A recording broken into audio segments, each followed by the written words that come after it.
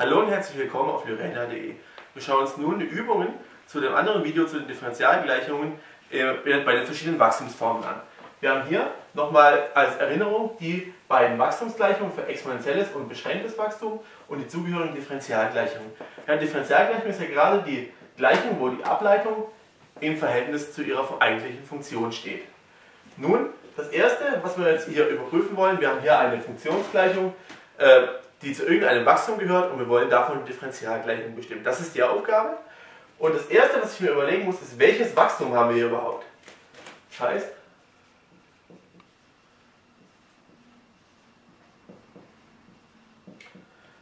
nun, ich sehe hier 100 e hoch minus 0,1x, das heißt, die Parameter sind 100 und minus 0,1. Das kann hier nur das exponentielle Wachstum sein, f von 0 als 100 und k als minus 0,1. Das s minus s minus f von 0, das kann es hier auf gar keinen Fall sein, hier haben wir keine Differenz stehen.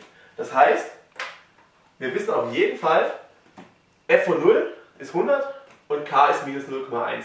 Mehr brauchen, äh, brauchen wir für die Differentialgleichung auch gar nicht. Wir brauchen f von 0 erstmal gar nicht. Und das k, das wissen wir jetzt hier, das steht hier oben, minus 0,1. Das heißt, die Differentialgleichung f' von x gleich k mal f von x, also minus 0,1 mal f von x.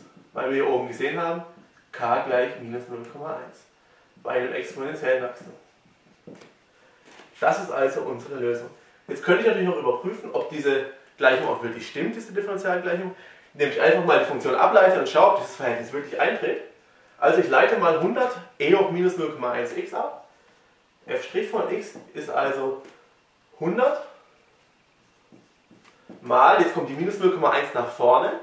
Bei der e-Funktion ist es ja immer die Regel, minus 0,1 und mal e hoch oben bleibt das gleiche stehen. Minus 0,1x. Und hier sehe ich schon, wenn ich es ein bisschen umschreibe, minus 0,1 mal 100 e hoch minus 0,1x. Und dann sehe ich hier, was hier steht, das ist gerade f von x. Das heißt, hier steht dann minus 0,1 f von x. Und das ist genau das, was wir sehen wollten. Also so kann man sich auch immer, per, also quasi wie eine Probe vergewissern, dass die Differentialgleichung, die man bestimmt hat, auch wirklich richtig ist. Schauen wir uns die zweite Funktion an. Nun, hier haben wir diese Differenz stehen, 100 minus 50 e hoch minus 0,03x. Das heißt, es ist logischerweise das beschränkte Wachstum.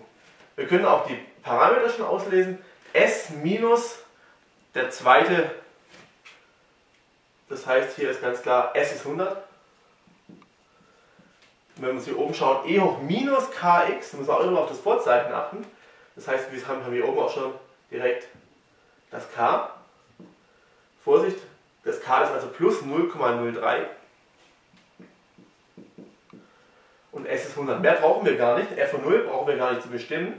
Könnten wir natürlich auch trotzdem bestimmen. s minus f von 0 soll 50 sein.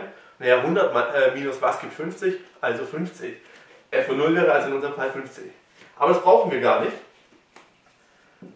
weil wir jetzt schon die beiden Parameter, die wir in der Differentialgleichung haben, direkt schon gelöst haben, k und s. Das heißt, f' von x gleich s 100, nein, Entschuldigung, k mal s, das heißt k wäre hier 0,03 mal 100 minus f von x. Schon habe ich die Differentialgleichung für dieses Wachstum. Schauen wir uns das letzte Beispiel noch an. 1 minus e hoch minus 0,2x. Auch hier haben wir eine Differenz, die deutet darauf hin, dass wir eine Schranke haben. Das wäre in diesem Fall die 1. Wir haben also beschränktes Wachstum und als k kann ich ablesen 0,2. Das Minus wieder aus der Gleichung wegdenken. Das heißt, jetzt ist es auch nicht mehr schwer. f' von x gleich k, also 0,2 mal S1 minus f von x. Das ist unsere Differentialgleichung.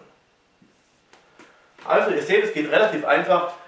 Man muss einfach nur die Funktionsgleichung kennen, die Differentialgleichung kennen, die Parameter ablesen, einsetzen und fertig. Schaut doch mal auf der Homepage www.nurelda.de vorbei, besucht uns bei Facebook. Dankeschön.